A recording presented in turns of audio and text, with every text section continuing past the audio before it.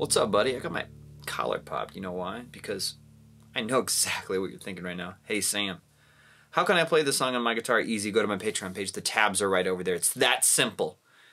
Uh, special thanks to Joshua Garofalo Guitar, who's a sick YouTube guitar player. You should totally check him out.